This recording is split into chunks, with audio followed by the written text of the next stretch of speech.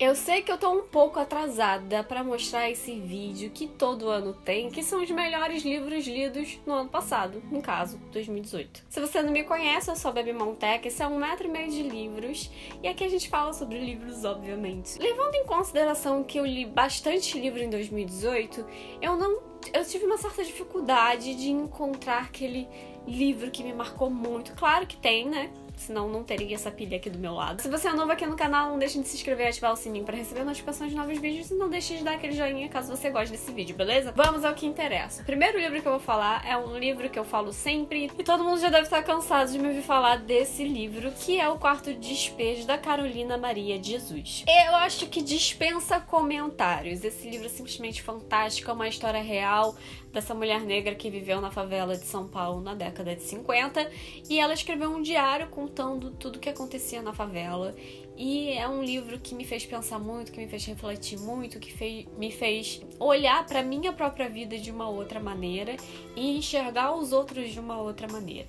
Tem um vídeo exclusivo sobre esse livro aqui, aqui no canal, vou deixar nos cards, caso vocês queiram assistir. Também tem resenha no blog e eu vou deixar o link aqui na descrição do vídeo, caso vocês queiram ler. Outro livro que me marcou muito e que, curiosamente, é um tipo de livro que eu não costumo ler, que é um livro de não ficção, é Os Homens Explicam Tudo para Mim, da Rebecca Solnit. Esse livro aqui tem vários ensaios que a Rebecca escreveu ao longo da carreira dela, falando sobre feminismo e sobre a condição da mulher no nosso sistema patriarcal. Tiveram várias passagens desse livro que eu fiquei totalmente arrepiada durante muito tempo.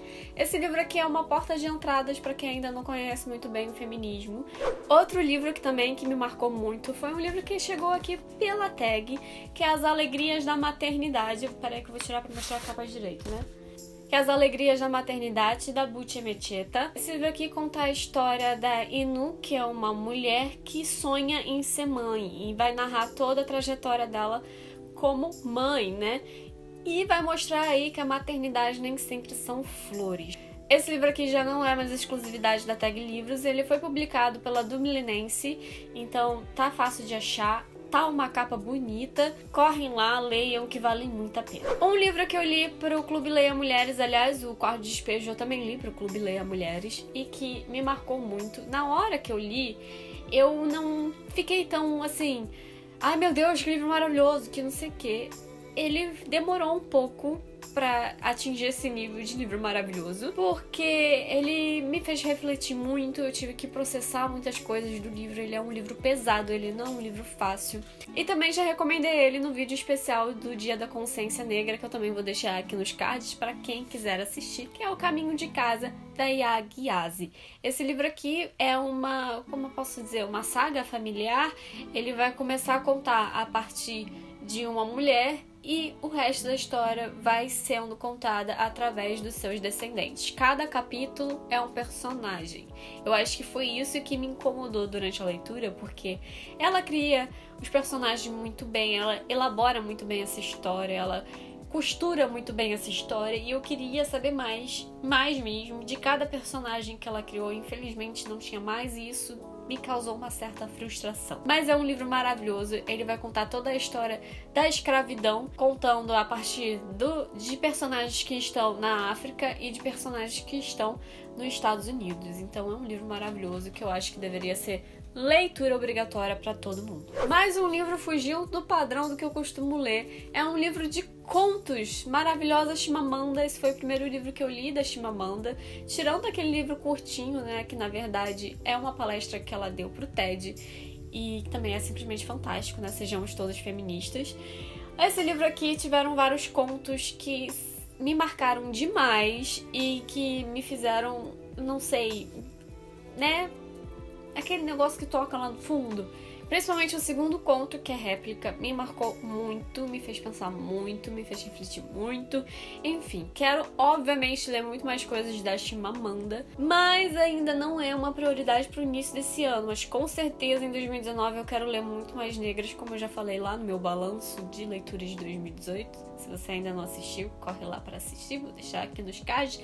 Se tiver esgotado os cards, vai estar aqui na descrição do vídeo. Mas fica aí a recomendação dessa rainha.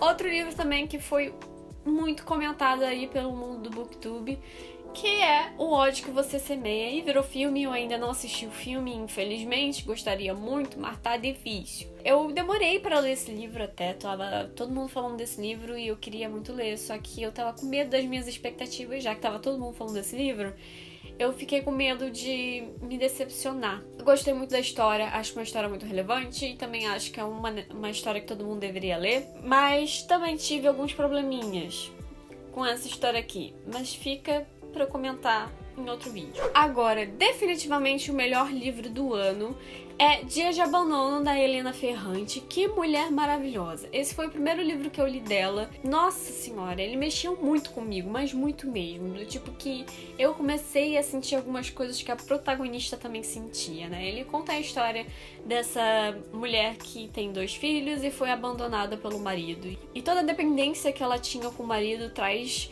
consequências assim extremas para ela. Tem gente que preferiu a Amiga Genial, que apesar de também ser um livro fantástico, maravilhoso, que eu estou colocando aqui na lista de melhores livros do ano, eu ainda prefiro Dias de Abandono. Essa história é fantástica, mas essa aqui me deixou meio maluca. Agora vamos falar de quadrinhos. Tiveram dois quadrinhos que me marcaram muito em 2018, que é Maus, que também tá no vídeo que eu falo sobre o Holocausto, que eu também já coloquei aqui nos cards, é só ir lá e clicar. Que quadrinho fantástico! Eu já estou querendo reler para vocês terem uma ideia. Então, não sei, quero falar muito desse livro ainda. E o último quadrinho que eu vou falar, na verdade, é um quadrinho que eu só fui terminar em 2019, porque simplesmente não deu tempo. Mas é um quadrinho que, Senhor do céu, também muito necessário. Todo mundo, por favor, leiam, tá? Se ainda não tiverem lido, porque eu acho que muita gente já leu, que é Persépolis. Eu também quero falar mais desse quadrinho aqui em um vídeo específico. Então, aguardo. É isso, espero que vocês tenham gostado do vídeo. Não deixem de dar aquele joinha caso vocês tenham gostado. A gente se vê no próximo. Beijos!